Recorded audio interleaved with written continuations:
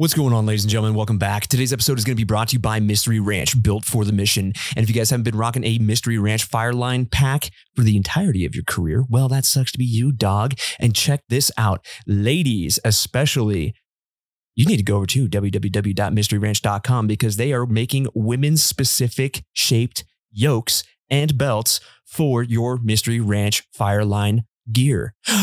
what? Mind blown? So, ladies, if you are uh, looking for something that's going to fit a, a, little bit more specific to your shape, well, I highly, highly, highly recommend and suggest going over to www.mysteryranch.com and checking out all the new swag and gear and yokes and other stuff. Speaking of swag and gear and other stuff, they make two awesome cases, actually backpacks, cases, packs, bags, whatever.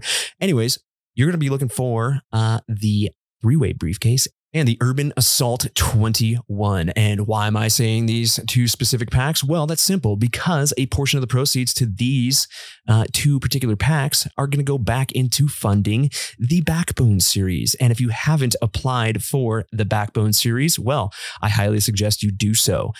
It is awesome. And if you got an awesome story, you want to tell your story, well, now's your opportunity to win a $1,000 grant to get some more education under your belt and pursue your fire, fire career even farther. So, once again, go over to www.mysteryranch.com and check it out. The Anchor Point podcast is also going to be brought to you by our premier coffee sponsor, and that's going to be none other than Hotshot Brewery. It's kick ass coffee for a kick ass cause, and a portion of the proceeds will always go back to the Wildland Firefighter Foundation. And in addition to Kick Ass Coffee for Kick Ass Causes, they make a ton of other stuff, like all the tools of the trade to get your morning started off right and a bunch of wildland firefighter themed apparel. It's pretty awesome. It's fun. Uh, some tongue in cheek jokes, which I always appreciate. But uh, yeah, go over to www.hotshotbrewing.com and check out their full line of apparel, kick ass coffee for kick ass causes, and all the tools of the trade to get your morning started off correctly. In addition to that, go over there and check out some of uh, the Anchor Point merch. Yes, if you're looking for some of those Band of Brothers tees or some of those Fire Fiend tees, well, look no further than Shot Brewing. Go check them out. Do it now. The Anchor Point podcast is also going to be brought to you by our friends over at The Ass Movement. Yeah, it's a funny name. It's kind of funny, but uh, it's actually pretty serious. Uh, it stands for the Anti Surface Shitting Movement, and they are all about spreading the good word about burying your turds. So if you want to uh, go over there and get some sweet swag, some anti surface shitting memorabilia, some posters, some stickers, some patches, yeah, you can even get a turd trowel if you want to, if you have a problem pooper on your crew. Go over to www.thefirewild.com and check out the ass movement, where you can get all of your poo bearing propaganda needs all in one place. Check this out. Also, you can get another 10% off. Listeners to this podcast can get a 10% off their entire order site wide by using the code anchorpointass10, all one word. So go over to www.thefirewild.com and check out the ass movement. The Anchor Point podcast is also going to be brought to you by the Smokey Generation, where you will have the opportunity to win a $500 grant to pursue your passion of telling the story of wildland fire.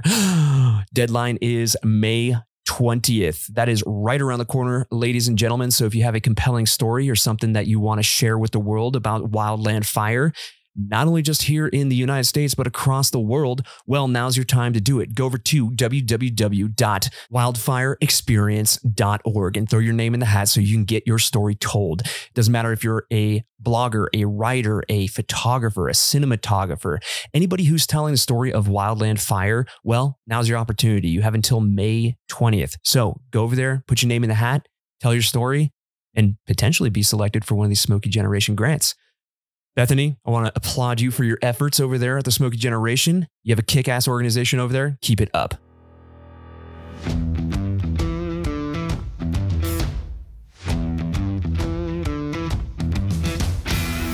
Views and opinions of this podcast do not reflect the views and opinions of the United States government, the Department of the Interior, the Department of Defense, the Department of Agriculture, the United States Forest Service, the Bureau of Land Management, National Park Service, the Bureau of Indian Affairs, or any private, municipal, county, or state firefighting organization, any law enforcement agency, any medical provider, or any contractor employed by any federal agency.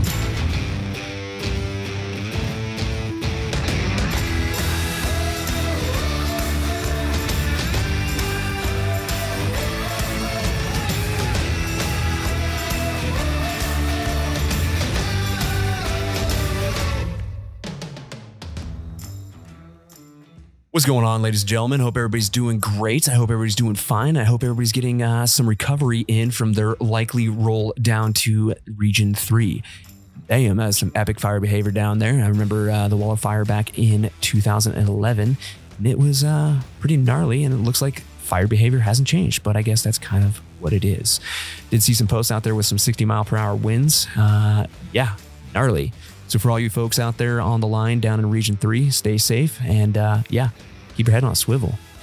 As for the show, well, actually, let me pause that real quick.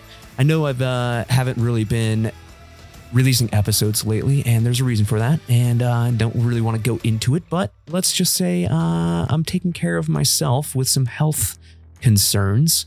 And uh, yeah, it's a moving target. We still don't know what's going on, but yeah, we'll figure it out. No reason for concern. Hopefully. Anyways, today on the show, I've got my good buddy who's been in the news quite a lot lately. Uh, I know Wildfire Today's covered his story. I know that uh, CBS, uh, NBC, uh, yeah, a bunch of major news organizations have covered his story, and you probably likely know where I'm going with this. Today, we're going to be talking about reprisal, the fear of reprisal, and what you can possibly do in case this happens to you. What better person to have on the show to talk about this very subject than my good friend, Mr. Pedro Rios? Welcome to the Anchor Point. All right, ladies and gentlemen, welcome back to another episode of the Anchor Point podcast. Today on the show, I've got my good buddy, Pedro Rios. Dude, you got a hell of a story to tell, man. How are you doing today? I'm doing I'm awesome. How are you doing? Doing great, man. Got a new setup. You're my uh, test pilot for my new uh, little little setup I got going on here. So yeah, right, yeah. sounds good. Sounding good so far. Yeah, well, good. So hopefully it makes you uh, everybody else sound good as well, especially these remote. I know I've gotten a couple complaints for the uh, remote podcasts. So when like we're on Zoom right now, so hopefully mm-hmm. it cleans it up a little bit. But yeah, tell us about yourself, man. Uh, my name is Pedro Rios. I've been with, uh, I've been in wildland fire since 2007. I started out with a uh, contract crew, uh, hand crew, Firestorm, 2007 to 2009. 2010, 11 were kind of dead seasons. So I went back into construction for my last year of construction. Then I came back into fire in 2012. Um, and I was, I was back with, with Firestorm, my hand crew. And then from 2012 to 2014, I was with them. 2015 was when I kind of made the big jump to Forest Service uh, I was able to get on a hand crew and an AD, AD crew of all things. I was foot in the door. And, Dude, that's uh, how I started I, out. Yeah. Yeah. ADs. Yeah. Okay. Yeah. There's some badass AD crews out there, especially down in Southern California. Uh, but yeah, so I, I, I, got on AD in Plumas National Forest. Uh, I got six, six or seven really good evals, and that was enough to get me hired on for Lassen National Forest. Uh, I, I, worked there on Engine 81 for two seasons. And then uh, 20, the 2018 to 2020, I uh, got a position with the Klamath National Forest on engine 378 Grass Lake Station. And uh, yeah, the, uh, the, the stuff that happened after that a bit more public, but uh, I'm, I'm still in fire. I'm not going anywhere. Um, I'm just back back in the private sector. Back in the fi- private sector, so you're back to the contract world um, for obvious reasons, right? Okay, so now let's get into the story about what's going on and the lawsuit and how you won your case and the whole encompassing thing about fear of reprisal and doing what's right, man. Because this is heavy and you're all over the news right now. I know Wildfire Today did a uh, story on you. I know that NBC did a new uh, a story on you, and a couple of other podcasts in the fire world did it as well. Uh, they didn't do an audio episode, as I'm I'm, I'm familiar with, but uh, I know they've written about it in their blogs. So let's take it away, man. Let's let's go from beginning to end and how this whole cluster went down. Okay, if you want to go back to the nucleus of, of how kind of this all got to this level, uh, I, I, think personally, I think it really starts back in honest. I think it was March 2019. Uh, my my son, who was uh, uh, he was three years old at the time, uh, he he came down with with, with a cold, and um, he hadn't we hadn't really noticed anything about him having any issues having colds before, but uh, this uh, that time 2019 he he got really sick and my wife was getting pretty concerned So we took him down to uh, Mercy Medical in Mount Shasta. And we lived in Weed, California uh, during all this time. And uh, his, his breathing, breathing was getting really, really bad. It was super labored. So the doctor recommended that he be life flighted to UC Davis, uh, is in Sacramento, um, or the Sacramento area. And uh, his, his breathing got really bad. They were able to get it a, a little bit under, under control and it was better from what I understand that during the flight. I didn't go during the flight. My uh, my wife went. The reason I didn't go is because I was doing uh, training stuff with fire, and being that I'm the breadwinner, it was a difficult decision, but I kind of had to stay behind. But I, I trusted her um, to have the best interest. Um, so once he was there, um, apparently, and I, I, have this document as actually part of the case. Um, the, the doctor who examined him at UC Davis uh, said that he was so acutely critical. He was more acutely critical than their more their most severe uh, child patient in their in, in, their ICU. So he was doing pretty, pretty badly. Um, so he ended up staying in uh, UC Davis ICU for uh, two days and was uh, discharged from ICU, but still in hospital for another day. And uh, it, it, was it, he had a super bad asthma attack. Um, that's when he was diagnosed with an autoimmune disorder. And uh, so, yeah, that, that was always an extra thing to worry about uh, since then. And then, of course, the, the following year, you've got COVID um, hitting the U.S.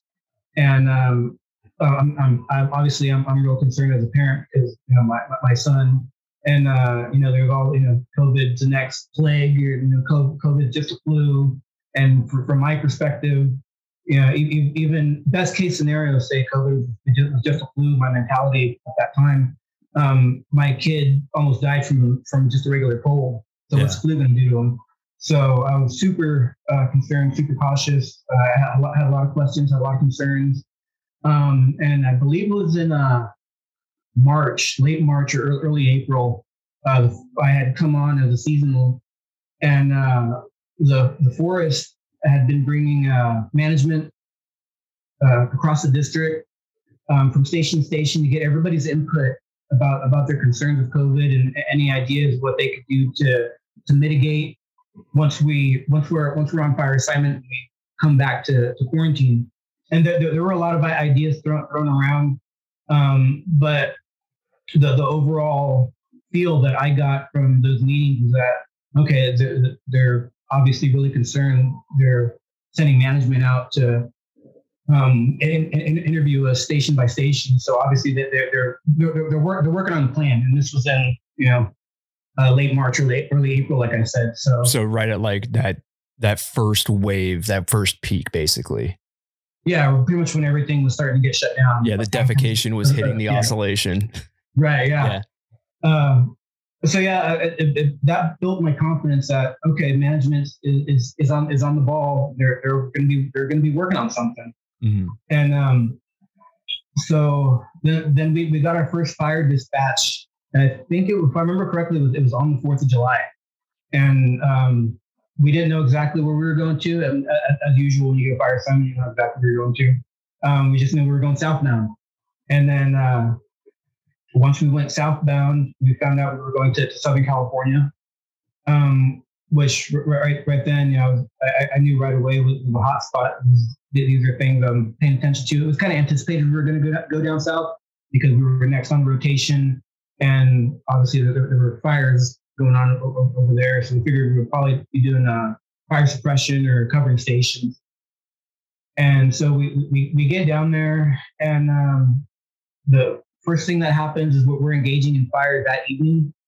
And it's just you know, st- standard thing. You know, you, you, you get out there, you're, you're on fire the first day, um, you're suppressing. Uh, these were uh, fireworks that started uh, these fires, so that they were relatively small.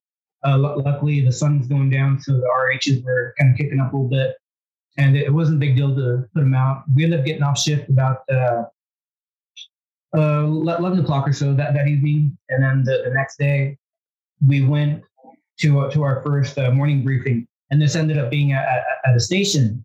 It wasn't just any station. The station was recently uh, um, shut down and quarantined and cleaned because people had come down with COVID there. And um, there, there, there, just that alone, there was a lot of concern amongst the strike team. Um, you know, why, why, why are we coming here? How, how come we can't be at the host station instead of coming to an actual station that, that came down with COVID? And so I, I think that a little bit of uh, questioning about that brought us to a different station uh, towards the middle of the day. Uh, it's kind of weird because that station too had just been shut down and quarantined and cleaned because people had come down with COVID. Uh, from my, my understanding, it was a couple days to a couple weeks before uh, we showed up. So I, I don't know which one was a couple days and which one was a couple weeks. They didn't really but, give you a um, clear like indication of what was what, basically. Yeah, it was, it was, it was really vague. It's like, yeah, one, one of these stations was a couple of days ago. It came down, uh, somebody came down with COVID, and one station was a couple weeks ago. We can't, we, we, we, we don't, we don't, I don't want to say they didn't want to tell us, but it wasn't made clear which ones were which. Um, but uh, yeah, I mean, just among the, the strike team, there was, there was a lot of concern. Um, and so the um, next few days, we were uh, putting out more, more fires out there. Um, some of the fires that had already pretty much dead out, we were just gridding it because uh, it was right next to a highway. So we were just making it look good and kind of what the public doesn't know. You know, you're out, you're out there to make uh, to make the public feel safe rather than actually doing it. And anything values yeah. fires clearly dead out. Um, but yeah, so uh, so after a few days of that, I think we're only down there for about four days in total. And uh, on the, on that last day we were there, um, our strike team leader trainee came up and told us that we're uh, going to be released tomorrow and, and, we're going home. And was like, well, what, what, what, do you mean we're going home? We're, we're, we're going to get quarantined or something on the way? And uh, like, no, we're just going to go home. And right, right, right then and there, I'm like, what the fuck? What do you mean that doesn't make any sense? We're going to go home. This, the, the management just a month or two ago was, you know, ha- having these meetings with us, telling us that they were working on something. Uh, they, they, they, were taking ideas from uh, people in, in these uh, meetings, and they really made it clear that, that, that they were working on something. Um, so it, I, I, know a lot of it's uh, centered on me with uh, kind of going against it, but the, uh, I'd say the vast majority of Strike Team 3600 was concerned about just going home like that. Yeah, just all of a sudden, you know, like you know something's up, basically. Right. Yeah. And uh, so we, we had we had voiced our concerns. Uh, I, I believe the Strike Team trainee went to the Strike Team actual for a little guidance, and uh, once uh, we, we got word again from the actual uh, strike team actual. He came back and said uh, Appling is standing his ground. Mike Appling, the forest staff officer, and uh, once once I had heard that, um, I was well, shit. I have to think of something. I got to think of something quick. Um, so that that that evening, we, we bedded down for the night in the hotel, and I pretty much stayed up for a good four hours um, we probably ended up going to bed about 1, 1 or 2 a.m. But um, my goal was to make a uh, letter as, uh, as, as poignant as, as possible about uh, us coming back from the COVID hot zone. Um, personally, I, I, I, didn't. I thought if I made it about my kid, a lot of people wouldn't really care. So I kind of I made it more about the community and the uh, um, Siskiyou County is an older community, so there's a lot of elders that, that, that live there. Yeah, so I kind of made, made, made, it about that. don't think about my family, think about your family. Yeah, that's another um, thing too. Is uh, Siskiyou County? I mean, that's it, it's small communities. It's not like they have like the uh, the resources like say Reno does per se. You know, we right. we have hospitals and shit, and we we have the access to healthcare in case it's like a severe case of COVID that you track mm-hmm. back. You guys, not necessarily. Yeah, yeah, for, for, for to a large degree, yeah. Um, yeah, it, it, would be easy for Yreka Hospital to get to get overwhelmed, um, or even Mercy Medical in, in Shasta. There's just not much out there. Yeah. But uh, yeah, so anyway, um, as I was writing this letter, uh, or, or, this um, letter that I plan to post on, uh, I think it was Siskiyou County uh, COVID uh, awareness. Their their name changed, but at the time it was something it was something about the, specifically about COVID um, I, I, I, made it a point. I, I, knew we were coming on the clock, which I believe was uh, 0700. I, I wanted to post it early in the morning so people would see it, but I wanted to make sure I was off the clock when, when I did it. it just me being an arm, armchair lawyers, like, uh, well, I did it off the clock. yeah. Um, well, everybody's entitled so, uh, to the uh, First Amendment. First right, Amendment yeah. rights, man. That's uh, I mean, but you're on. Speech, I'm, I'm, not, I'm not on the clock. I can do whatever I want. Yep. Um, so I, I posted it at about 6:50 a.m. and uh, it, that, that, was pretty much it. I, I, I had left it at that. And shit, we're, we're, probably going home. I have to think of something.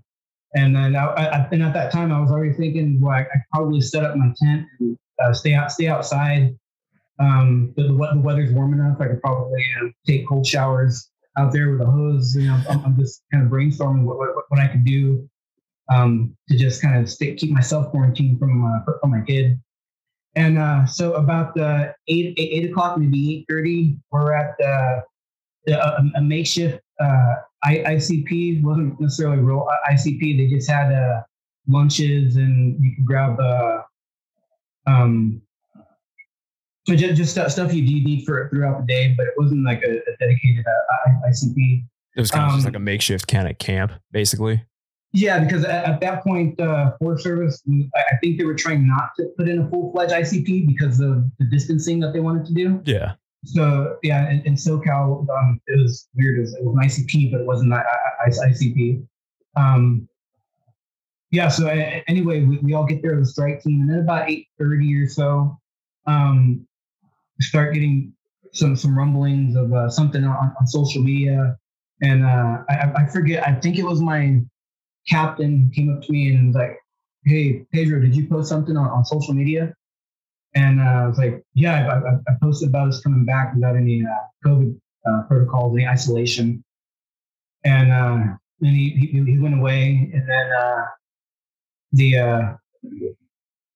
uh, strike team leader came came up came up to me and.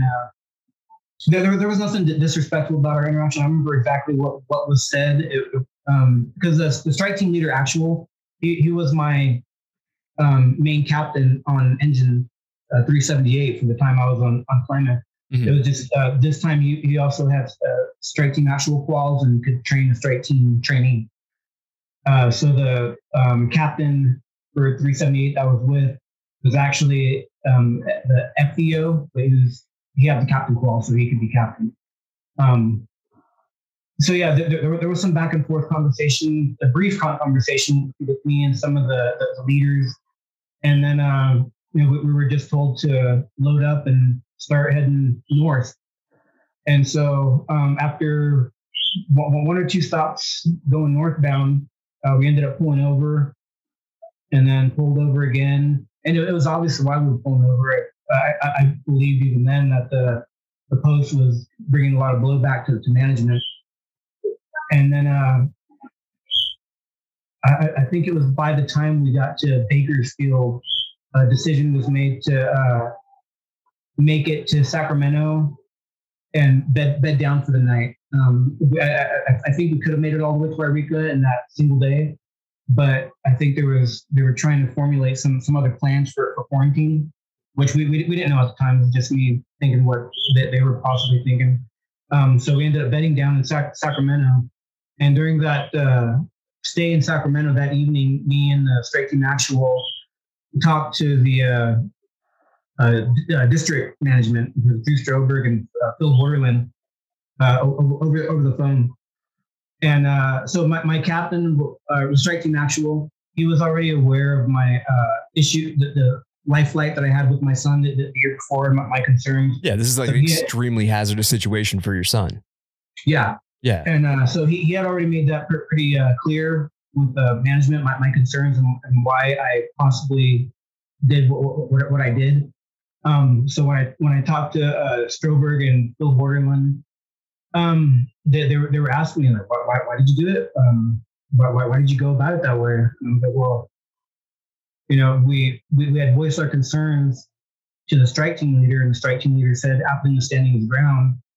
Um, obviously my uh, captain, strike team actual, told you about uh, the issue that I had I had with my son last year and my continued concerns with it. So I was I was expecting uh, some some kind of uh, isolation protocol, especially with uh, with the uh, meetings that we had that, that you guys did earlier in, in, in the year, um, saying that, that, that you're working on something. And uh, I mean, Stro- Stroberg, uh, he was just like, uh, I, I don't know what's what's going to happen with, you, Pedro. Uh, in, in, my in my opinion, this was very unprofessional. And uh, in I mean, my, opinion, my, what's that? In my opinion, yeah, there, there, there, was a lot of, in my opinion, you'll see a lot of that in more, more documents. Yeah, I'm actually um, reading through your uh, verdict uh, right now, okay. and so I'm mm-hmm. trying to find out what I'm trying to look up some like USC codes right now. So, but keep going. I'm trying to like figure out what what you were protected under. Okay. Yeah. Um, go ahead. Um, Sorry, man. No, no, you're, you're fine. Uh, so yeah, as I, as I was having this uh, phone conversation, I was just I, I, I, was I was answering the questions, but I was also staying quiet because I was pretty disappointed with with management and their their their, their handling of, of, of COVID mitigation. Um, it was uh, not fun. Um, I, I, was I was told a couple times by the captain in, in the engine that you probably don't have a job anymore after this. And uh, I mean, I, that, that that's a pretty stressful thing to go through. But I mean, what what, what, what am I going to do? Am I going to kiss management's ass or protect my kid? And it's, it's a pretty pretty easy choice for me, even though the outcome wouldn't, wouldn't have been fun either way. I get it, um, man. And once you start having kids, man, I just, I mean, I have one on the way right now. He's June, doing June 12th, or no, sorry, June 10th. And then uh, I have a one year old as well. And, congratulations. Yeah, dude, it changes your life dramatically when you have kids. Yeah, absolutely. Uh, yeah, I mean, honestly, if, uh, if, if I didn't have a kid and we were coming back from, from Southern California, I probably would have been annoyed and pissed off like it, like most of the other strike team was. But at the end of the day, I, I probably would have just shut my mouth and been disappointed with management, like everybody usually is. Yeah. But because they, because my concern extended to my son, it was like you kind of leave me no choice. I kind of have to be a good parent now and do do, do what I can. I mean, at, at this point, you're you're my, you're you're not you're not management anymore. You're my enemy. So I, I have to do what, what I what I have to do to uh, keep keep my son safe. And if that means not having a job, then I guess, I guess I'll find a job somewhere else. Uh, so yeah, I mean, after that long conversation, it was a good 30 minutes. We were, we were on the phone with them. Um, we, we bedded down for the rest of the night in Sacramento, and we were coming back up uh, north to, to Yreka. And I think we got to Yreka about nine or 10, 10 or 11 in, in, the morning. We left pretty early the next day. Um, and you, you, you know, when, when, you come back as a strike team, usually um, engines will pair off and go to their own district. It's, it's, just faster that way as we're on the highway. Yeah. But we were told to, to, to stay together and go to the Yreka shipyard. And so we knew there's some, something going on. Um, and once we got there, uh, after a little bit, uh, Mike Appling, fire staff officer, showed up. And he was actually surprisingly super apologetic about uh, everything. Um, he, basically, he, he he called us guinea pigs, um, which never never sit with me the, the right way. Um, I'm sure if you talk to anybody else that was on the, the Strike Team 3600, they'll, they'll verify for sure. Like, yeah, he called us guinea pigs, and especially the uh, Strike Team Actual. He, he was there for the whole thing. Um, but uh, I mean, I, I, I can understand management's perspective. Like, yeah, COVID is kind of an unprecedented thing. Haven't really had a national or worldwide play like like this since the Spanish flu. But I mean, come on, you guys were sending emails. You guys were coming out to districts, um, get, getting getting people's feedback, and then you had nothing in place. Well, they also had national direction as far as how they were supposed to handle it. I mean, it was all kind of boiled down to the individual district level during that whole pandemic, but still, we right. had yeah, outline. We had it outlined, right? Yeah, I mean, the, the, the, way that document you're talking about what was worded, um, a lot of gray it, area. It, yeah, it gave a lot of broad discretion to uh, to, to Forest.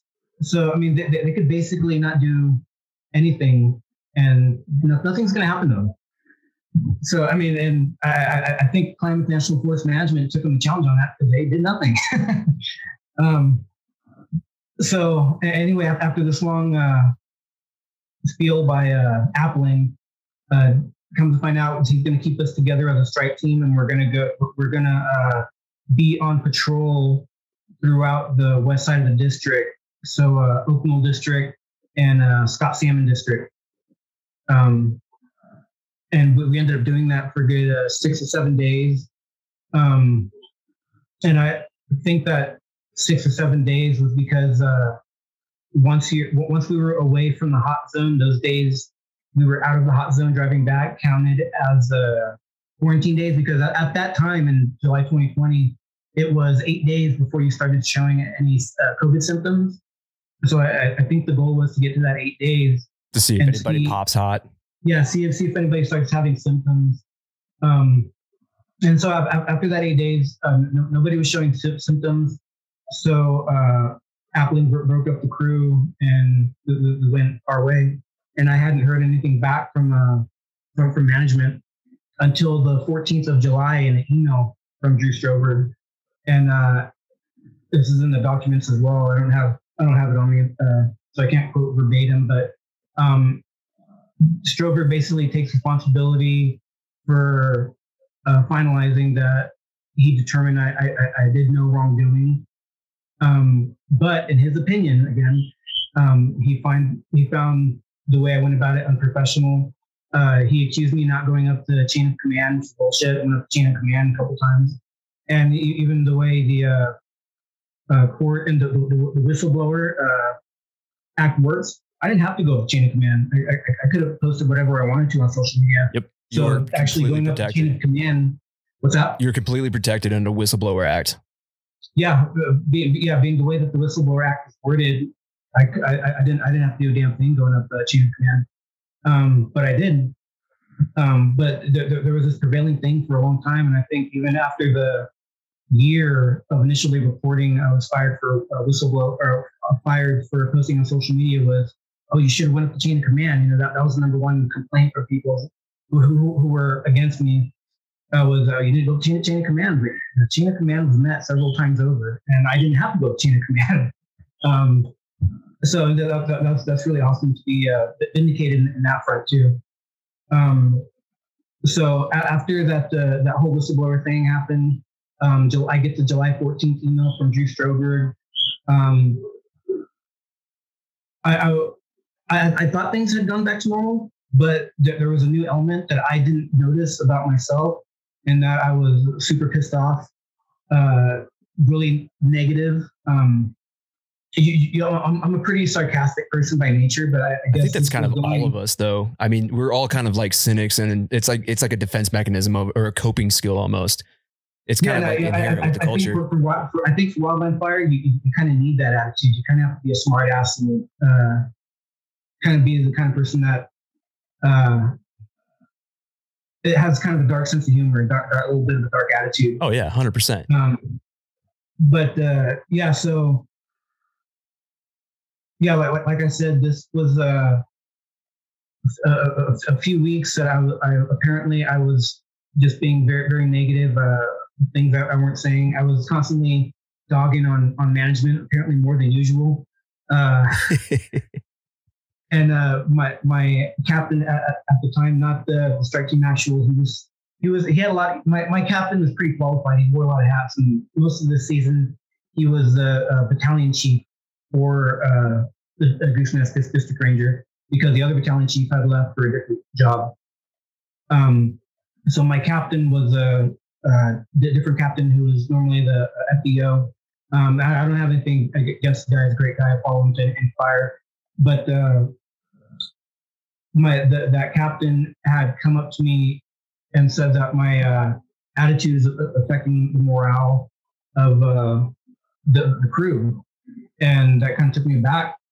And uh, I was I, I, I apologized to him. and I you know uh, yeah after the whole, whole COVID thing, I, I, guess I was pretty pretty bitter about how management handled things. But I'll, I'll, I'll do I'll do what I can to to improve. Um, and that, that was that was basically it. There wasn't any disrespectful back and forth. It was kind of an understanding. It wasn't like and insubordination I, or any like terminable offense, right? No, he was, he was, he was just giving me the standard verbal warning, but uh, it was it was it was it was very respectful. There was no, there was no bad bad uh, uh, back and forth or, or, or anything. And um, so um, around this time, I uh, get offers to start going with a crew called Crew Seven One, and Crew 71 was extremely short staffed. They only had about uh, seven people, uh, crew boss and six uh, firefighter twos. None of them had any wildland fire experience whatsoever. Um, so if, if, they wanted to go on, on, on any fires, um, district management wanted someone to supervise, supervise, have a second supervisor instead of just crew boss. Um, so I, I, I was reluctant because the uh, um, crew boss um, Mario Alvarez, he's he was someone that I had always had a bad reputation.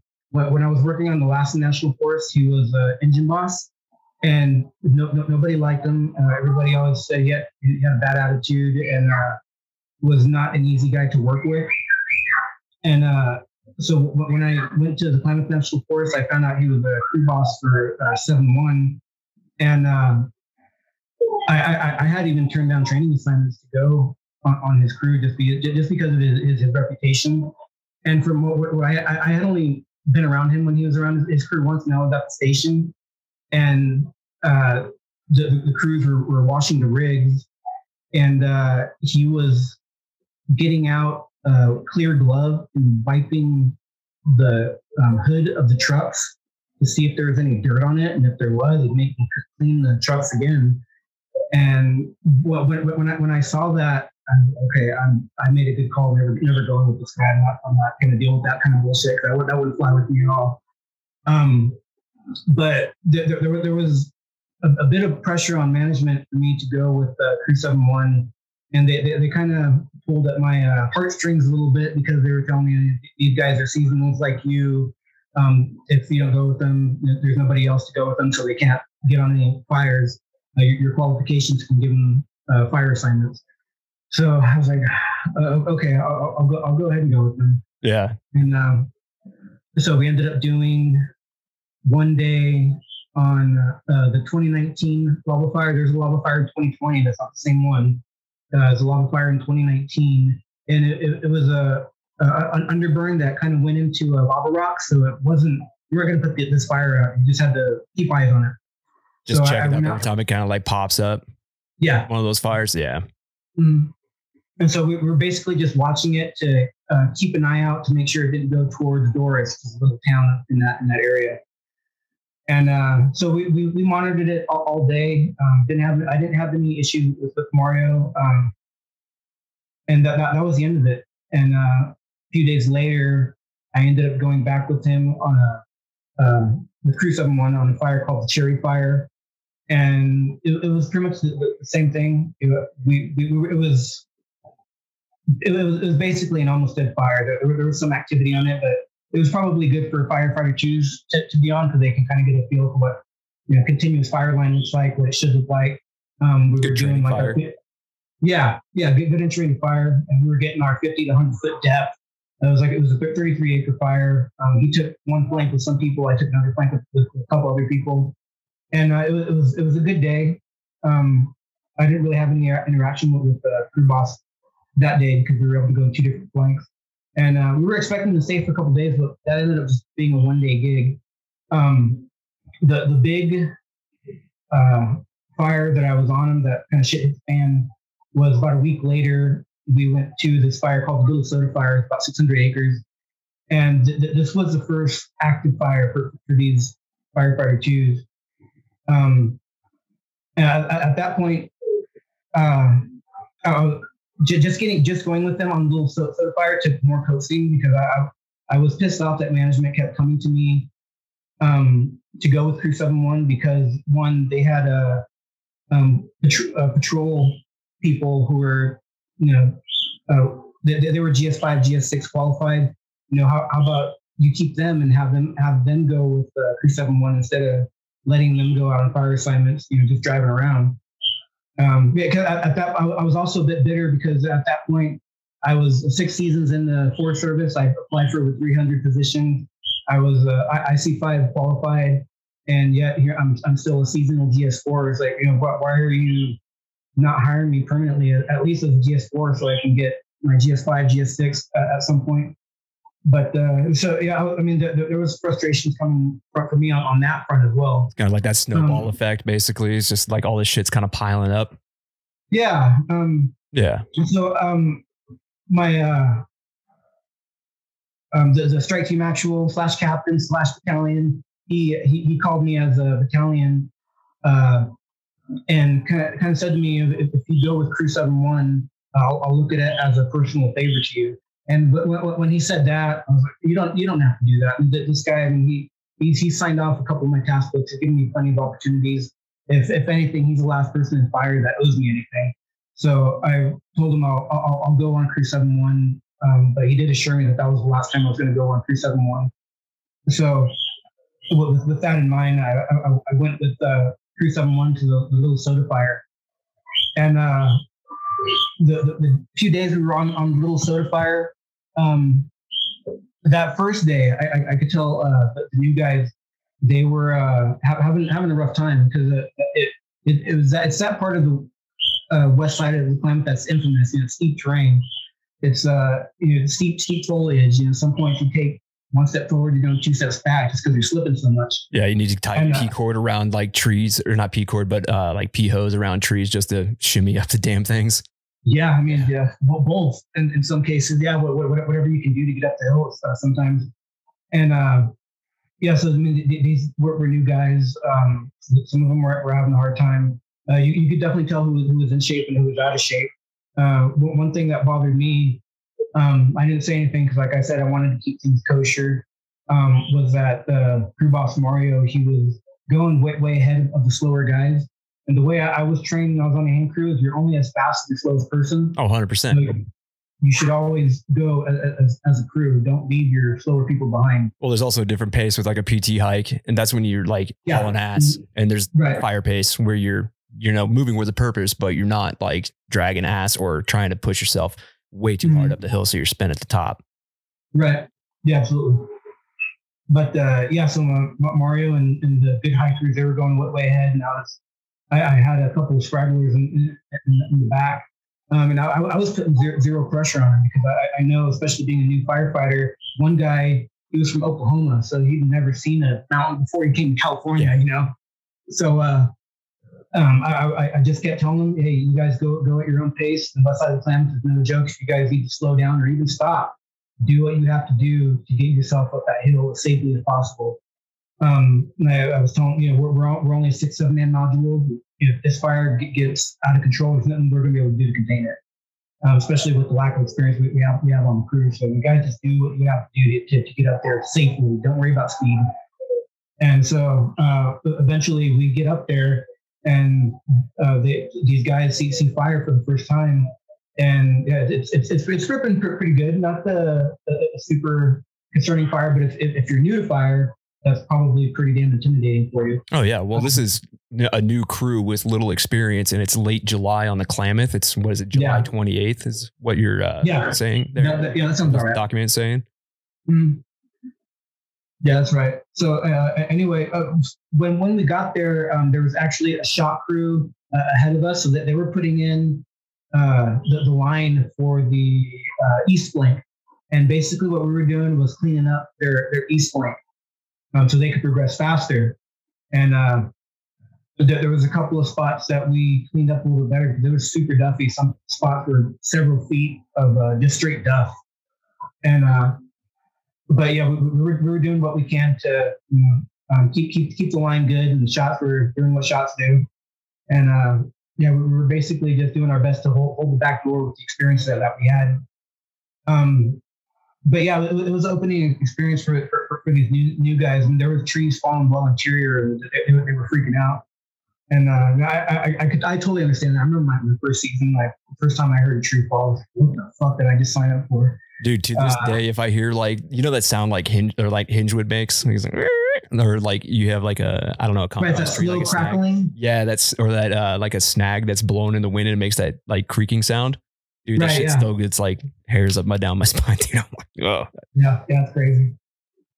But uh, yeah, so on, on on this fire, um, like I said, it, it was super steep. Um, at, at, this point, it's getting so steep that there's there's no we're not we're not worried worried about the foliage anymore. It's just the the ground is so smooth and so steep that that same thing, one step forward, two steps back, and we're using our tools to try and hoist this up and uh, clear clear up what we can in the meantime.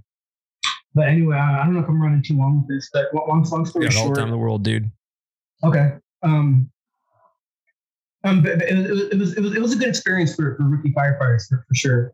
Um, it really gave them a good idea how how heavy and how hard and heavy it can get out there. Um, we were uh, out there for, for the whole day. I mean, by the time we started leaving that, fire line, it was probably about 10 or 11 o'clock at, at night. And uh, so this is everyone's first time, nighttime walk out on, on the fire line. And uh, I was, I was starting to hear some complaints about how people's legs were hurting, and the Sawyer was complaining about how his shoulder was hurting. And, uh, so I, I, I was taking all these, I was, pretty much noting everything. You could tell the day one crew's hurting. Um, but anyway, we eventually get back down to the bridge and we stay at this uh, nice little campsite and we could bed down for the night. And uh, that first night, I'm already hearing people talking about their, their legs and their thighs cramping. Um, didn't seem like it was major, but uh, you know, what, what, when it happened, so some of the guys were laughing about it, and I understand laughing about it, um, especially if you're not familiar with what that means. But that first day, uh, I, it was clear to me that okay, some guys are um, being or, or dehydrated. Yeah. And uh, so I, I, was just telling everybody if, if you guys get leg cramps, even if you're not pound as much water as you can, um, uh, keep keep a bottle of water next to your bed. Wake up, wake up middle of the night, take a nice good swig in the morning. Drink pound a whole another bottle of water before you before your day starts. Um, little, was that half and half Gatorade and water? That's always a good one too. Yeah, yeah, half and half. Um, but yeah, uh, there, there, there, was, there was no issue drinking Gatorade. They were, they were drinking Gatorade with the water. Well, especially new firefighters, it's always always the Gatorade. Yeah, yeah. There, there was a kid back in 2008. All he had in his backpack was, was YooHoo, and his, the crew boss is like, "What the fuck? You, why do you have fucking YooHoo in your in your line gear?" And the guy is like, "It's not chocolate." And so, uh, no, the uh, he's like, "Why do you have fucking chocolate milk in your line gear?" like it's not chocolate milk, it's YooHoo. oh Jesus! like, he, he, didn't he didn't last too too long after that one. but uh, yeah, com- coming back to to this uh, little soda fire, uh, day two. Um, everybody's obviously a little little hurt. Um, nobody's done on fire like this before. I mean, even me, I, I was probably three or four years removed from the Anchorage. It was kicking my ass a little bit, especially the, the hike up. Um, but yeah, I mean, everybody was uh, hiking a little bit slower. You could tell some people were hurting already just on day beginning of day two. Um, so my, my, my concern was you know, obviously you want to keep them busy so they can secure what line we can, but you also want to make sure you're not overexerting them. Yeah, you can't um, break them off like first thing in the morning, man. I mean, they're ineffective yeah, all day, or it, even it, worse, they go probably, down. Yeah, absolutely. And it's probably a good it, it, feels like a mile, mile and a half hike up, but just the steepness, it probably was only half mile to, to, to get there. Um, but yeah, once, once we got there, we were on the same piece of ground. We just had to hold it and improve what was what was there.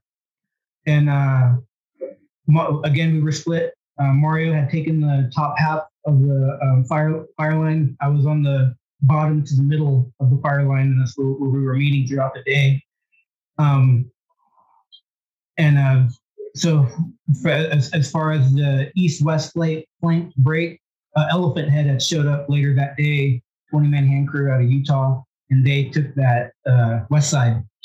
And uh, yeah, so for, for, for, that west rest of the day, we were on that uh, east side flank, and uh, that late afternoon, um, there was some guys on on Mario's flank on Mario's crew who had come down to our flank uh, to drop off some some hose packs that are starting to get their uh, hose line down. And uh, I, I, I, had looked at looked at these guys and I, they, they were pretty tired, you know. Um, I, I, had noticed this one guy. I'm, I'm terrible with names. I, I, forget some of these guys' names, but this this one dude. He, he, he looked like he was in good shape, like hot shot shape, great great physique. Looked like he, he, he, could definitely, he was a runner in great shape, but he, he was shaking. He was not, notably shaking. And uh, the first thing I asked him when I noticed that, I was like, hey, have you taken the lunch today? And I was, he, he said no. And I was like, put, put your pack down, grab some food, drink, drink some water, take a break. And um, uh, so I, I asked him, there, there was another guy uh, with them who wasn't doing quite as bad, but I told him to take a break too. But I had asked him, has Mario given you guys any breaks? And they're like, no, he hasn't given us anything. And I'm like, yeah, just sit there for good 10, 15 minutes, uh, pound, pound a bunch of water. Um, not too much water. You want to kind of conserve a little bit, but pound, decent amount. Um, make sure, make sure, make sure you're fucking eating. Like, uh, you know, make sure you have some snacks. Open your MRE uh, that we were eating MREs um, to make sure you're you're eating throughout the day. Even if it's just you know, open up your MRE and you got M and M's. Put that M and m in your pocket and just snack on it throughout the day. And once that's empty, go in your MRE and grab another snack and put it, just keep something at, at the ready. Don't go all day without eating. Yeah, well, it's like these new guys and new girls that are on the crew, man. They haven't been seasoned to like learn how to eat on the go and keep it going like snacking all day either. So, I mean, it's not like anybody tells you that shit. You kind of got to figure it out or, you know. I mean, I, I, personally, I would think the crew boss would tell them that shit, but yeah. well, it's those hard lessons learned, you know, until you like actually figure it out.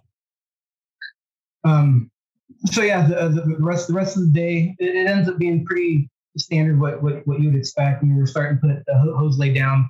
People are hiking out with more hose. Um, we, we end up getting off the fire at a decent time, probably 8 p.m. And we're, we're hiking out and we're going back to the same camp we were before. And day two, um, more guys are complaining about their leg cramps.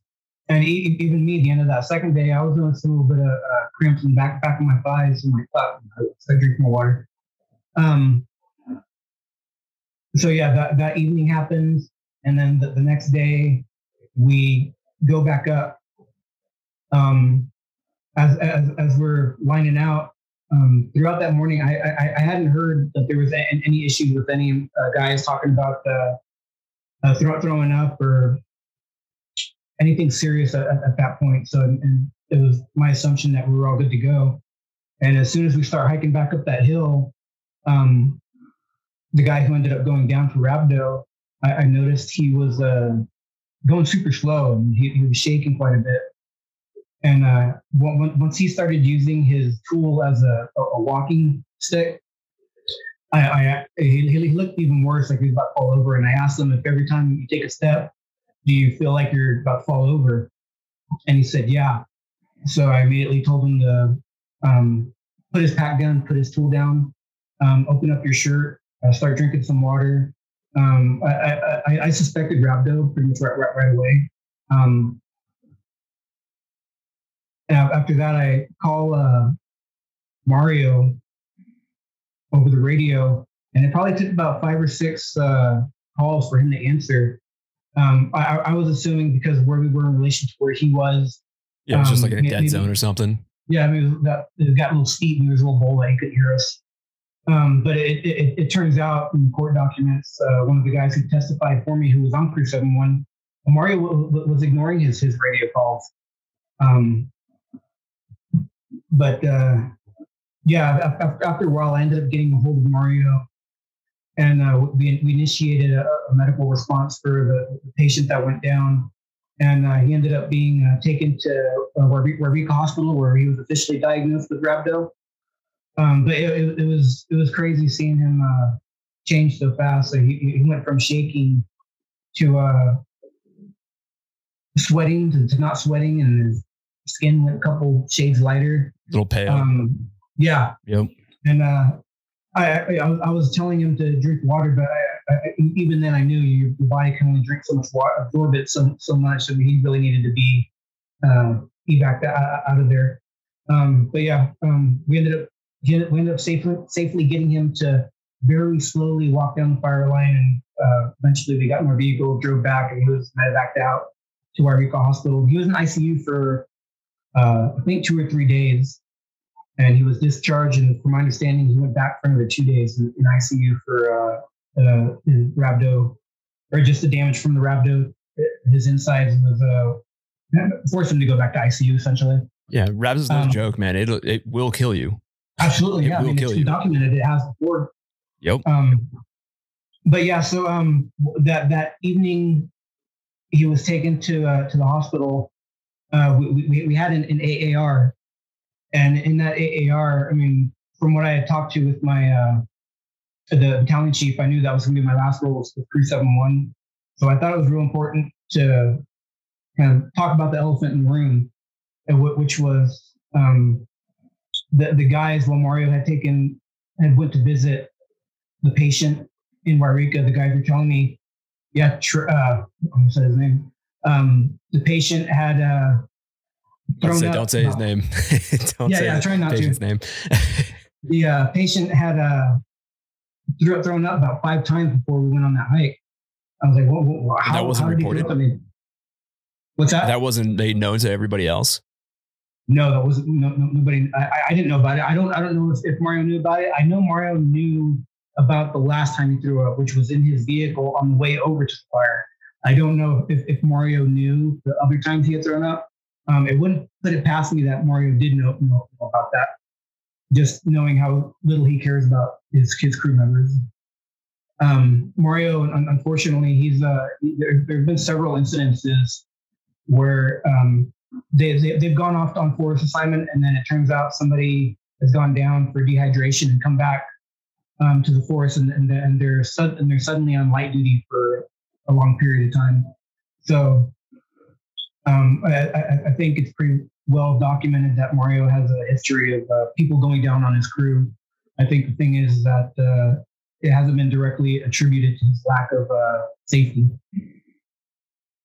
Um, so yeah, once once once all that information was made available to me, I thought it was real important that I bring that up to Mario, and I basically just told Mario um, again, trying trying to be respectful, even though I know I don't have I don't really care for him, and I know it's gonna be our last interaction. I just want to try and stay kosher.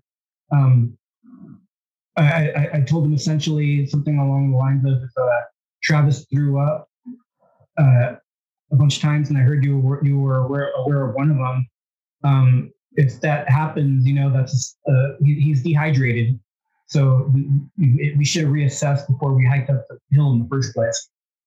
Um, and Mario, he just smiled and, and, and nodded, um, didn't, didn't, say anything else, and that that was the end of the AAR, and we all went our separate ways. Um, but yeah, I mean, uh, and uh, as as far as uh, trying to stay kosher with uh, Mario throughout all the times going out with with his hand crew, um, the, the the forty mile fire, it was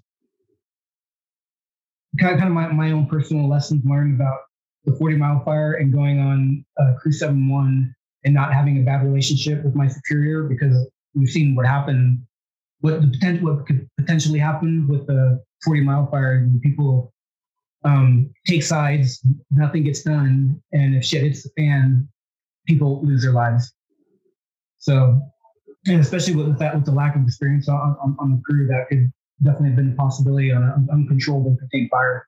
Oh yeah, hundred percent, man. Um.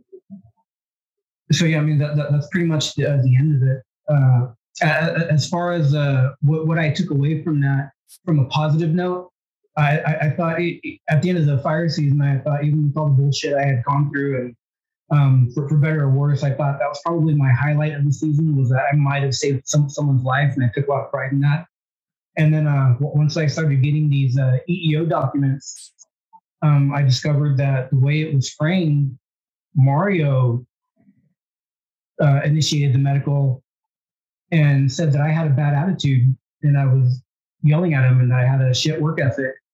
And uh, he, he told that to Stroberg, and Stroberg just wanted a um, document uh, of, of, evidence for that um, because obviously they were uh, trying to build a case against me to hire to not hire me for the 2021 season. Um, but you know, even the judge noted Stroberg did no fact checking. He, he, he, did no uh, interview with, with, Mario to get the details. He did no interview with myself to get the details. He did no interview with anybody else on, on that on that fire to get details. So, uh, based on the uh, evidence of, of the other witness testimony, from someone else who was on Crew 7-1. And uh, he, he, decided that, uh, yeah, the uh, strong, strong motive for, for, retaliation on Stroberg's part, but uh, no evidence on Mario for his statements uh, saying that I was a troublemaker, essentially, and bad work ethic. So I'm reading through the uh, court document here, mm-hmm. and I'm kind of like following along with your story. And yeah, I'm, I'm looking at this. appellate uh, returned from this little soda fighter, and Groding reported to Stroberg that the appellate had a negative attitude in his belief that he was bringing down morale of the crew. And there was no, it basically goes on to say that there, everybody else who testified on your behalf uh, said, no, you've never had a bad attitude. So, yeah, man, that's that's right, and it, it, was, yeah. it was, just because I, I, I bruised Mario's ego, so he, he, wanted to come back with, oh yeah, this guy had a bad attitude. Um, he was a bad bad worker, um, just things like that. Um, but yeah, I, I, had a lot of support from uh, people who were who actually work uh, in, in, fire who, gave who gave me that testimony. I'm super appreciative of them for for for, for that testimony. Um, I think just as far as documents for, from from my side, I think that little soda fire incident uh, is is the most important because I, I, think it takes away, it really puts a hole in a lot of Stroberg's arguments. Like Stroberg saying I had a bad attitude on that fire when I was going through all the peak bullshit with management and not being wanting to be on seven one. That showed that you know I was I was still able to, to perform my duty. I was able to potentially save someone's life. Um, I was able to take a role as, as, a leader and uh, keep these group these, these people safe. Um, have a good eye, make sure they're uh, make, make, make, make sure they're, they're hydrated. Well, one of the, the things that's not in the in the um, judge decision that uh, I, I, I, wish there's audio and, and, video. Of. I'm not sure if there actually is or how to access it. Maybe I have to talk, talk to my attorney about that. Um, Drew Stroberg, when he was on the stand, um, he blamed the patient for getting rhabdo. He said that the, the patient should have drank more water, and that, that, that was the only time in the in the in the court hearing I remember where there was a, just a collective silence. Like, how are you going to blame the victim not drinking enough water? Like, there's only so much water you can drink. Yeah, and it it, it, it just and plus, it, well, water's a, a that's like not the reason you get rhabdo. Rhabdo is a breakdown of your muscle tissue and your liver, and your kidneys can't filter it out at the rate that it's coming yeah. out. Yeah, mm-hmm. I mean the water yeah, obviously I mean, is going to help, but right is a bigger issue. This is physical activity. You're like right. literally I mean, working yourself yeah. to death.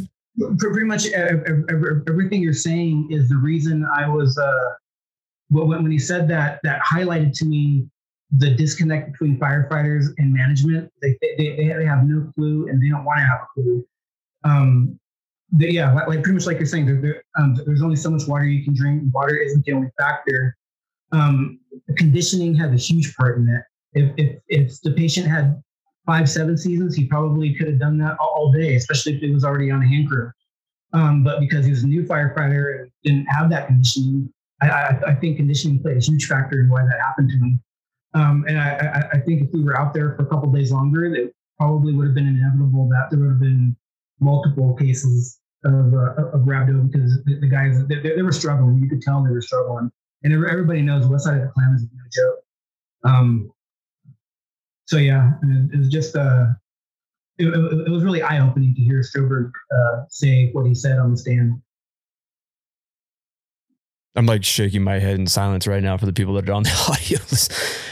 Oh man, I mean, I've dealt with rhabdo myself, and unfortunately, I've I pushed some people too far, and have actually been a contributing factor in them getting rhabdo. But I know how much of a joke, mm-hmm. or how much of a serious situation it is. It's not a joke. Rhabdo is some serious shit. Like I said earlier, it can kill you. Yeah, absolutely. And uh, you know, I, I, what I was doing, I, I felt like the, the, the, crew boss Mario should have been doing. He should have been keeping an eye out on an inexperienced crew with no fireline experience, knowing he's going to be on the west side um, of people um, talking about aches and pains because it, it could just be, you know, aching, aching bones, aching muscles, but it could also be a super early sign of uh, dehydration and, and, possibility of rhabdo. But um, it, he didn't seem like he was concerned about anything other than just getting on top of the hill the next day. Yeah, that mission blindness, man. That's mm-hmm. That's yeah. We all know what I, establishes I, you as a leader. Yeah, I, I, I think that's a big thing for him. Um, I think it's just that, that mission blindness. He's only thinking about that shift and the and the next day, the next shift. He's not thinking about crew crew fatigue, diminishing returns. Um, task focus. Yeah, task focus. Um, uh, does he even go through his, his 10s and 18s before engaging in the fire? I don't know, probably not. Um, but uh, yeah, I, I, once once all that that whole thing happened, it was really eye opening of why people don't respect Mario, why Mario always has issues uh, keeping a crew together. Um,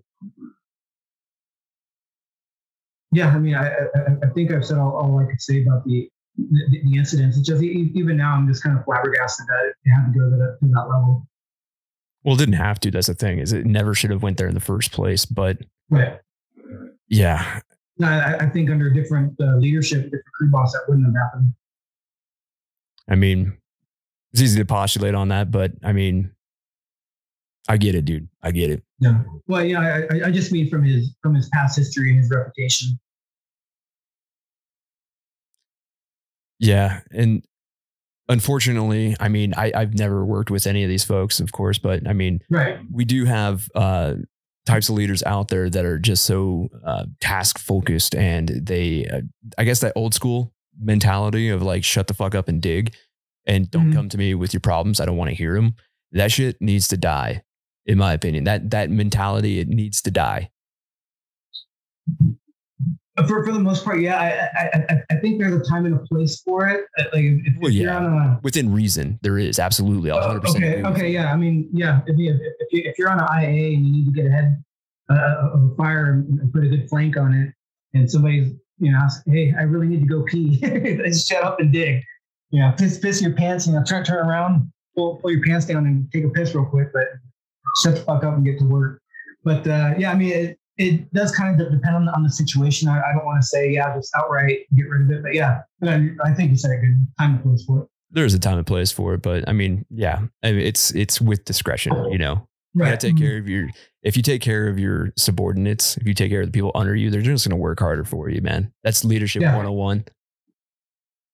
Absolutely. So moving on to the next part of uh, this, uh, there was some issues right there about you applying for not only the permanent positions as a uh, GS5, but mm-hmm. also mm-hmm. there was some behind the scenes conversations. And uh, on your, let's see, it's a, in his resume, Appellate wrote that his objective was too disgruntled as perm co- to be disgruntled as coworkers yeah, objective to be as disgruntled as, as current coworkers. Yeah. So, uh, yeah, there, there, was a couple of things in, in I can the, tell you were pissed when he said that. So, so, so he says. Um, so with with that resume, I actually got accepted to to another forest, uh, Shasta Trinity National Forest, and I, I was second in line for a permanent position. If that person ended up taking a different offer or what have you, uh, I would have gotten a call and gotten a, a position on there. So uh, it, not only was it not super offensive to somebody else, it almost landed me a, a, a position in, in, another force. Um, I, I, I, think there's def, there was definitely a lot of playing up things for that resume to, to get rid of me. I, I think uh, it, in, a, in a sense, I kind of gave uh, Stroberg a golden ticket with, with that resume um, because he obviously trying to get rid of me. But uh, like, like the judge said in his decision, um, that application is actually separate from seasonal position. So while um, would have had a right to dismiss that application, uh, my seasonal hire is on a uh, is, is completely separate from that. Yeah, there's two so, different lists. There's a merit and a DEU, and they're different for perm and seasonal. Yeah. Mm-hmm. Yeah. So uh, basically, what it boiled down to was uh, um, the, the, in the, the judge's ruling he said that uh, they made a one-time fairly unique decision not to hire me as a seasonal uh, with a permanent application, and uh, so that was uh, um, uh, the judge felt that that was part of uh, retaliatory motives. I mean, but this whole like resume that you wrote, right? This is all post facto of the fire season that you endured with the soda fire and all that stuff, correct?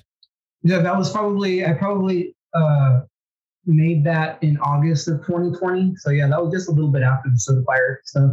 Yeah, but I mean, do you bring up? I mean, I'm not advocating to, um, you know, write this in a resume if you're if you're trying to apply for a job. However, you bring up some great points here, honestly, and that's like that whole grassroots thing that we're talking about. I mean, the whole ability to live off of $15 an hour since 2007. I thought that was a good one. I mean, yeah, is it snarky and kind of shitheaded? Of course it is, but you know what? I mean, that's that's like the larger sentiment of a lot of the boots on the ground right now these days. So I get it, man. I'm, I'm I get it. Yeah, and uh, you know, to put some clarification on the, the resume, um, the, the, that that resume that that was essentially my my hail mary because I was 39 at the time. Yeah. Uh, so age 40 is the hard cap. Doesn't matter what how old you are after age 40 or how long you've been before service. Uh, merit position waivers for age does not apply for that.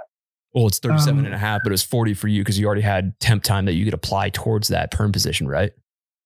Yeah. Yeah. Uh, tell, tell HR that and we'll give you 20 different answers. But yeah, you're right.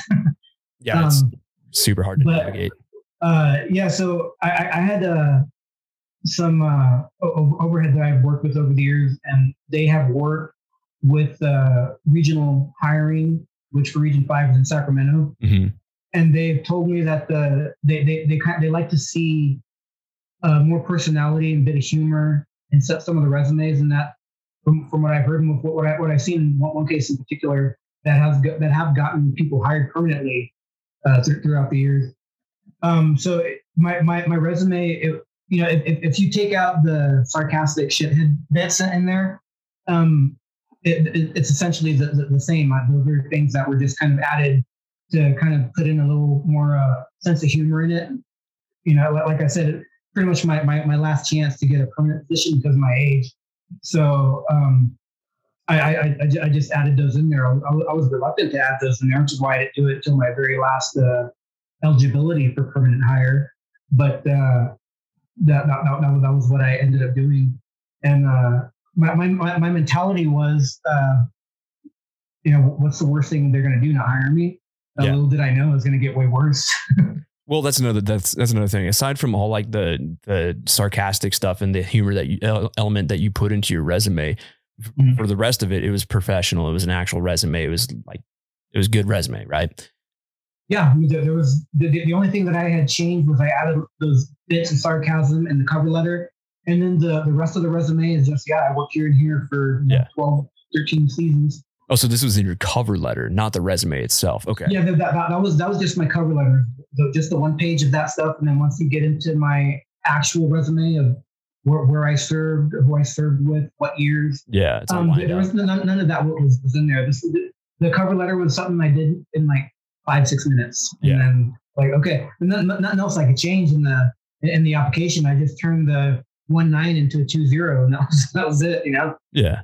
Well, that's the thing, though. But the, the bigger picture here is that that cover letter with the sarcasm on it and the humor element was used as ammo as well to ultimately yeah. deny you of rehire rights for 2021, even as a temp seasonal. Yeah.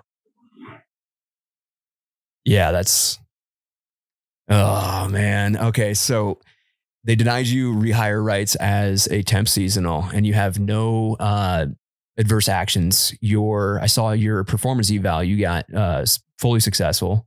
I believe mm-hmm. is what it said in the document here. So yeah, fully fully successful eval from my captain, and uh, the OPM, the email letters that you get, uh, was also fully successful. Okay, so there wasn't like a switcheroo or anything like that. Nope. Okay.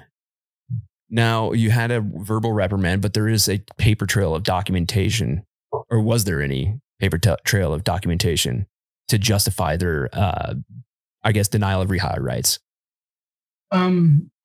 So the uh, once once the EEO got started getting documentation, they, documentation from them, sorry, um, the documentation that that I, that I saw was, um, they, they, they tried to paint the three weeks that I that I was uh pissed off, disgruntled, not having a good attitude as my whole fire season.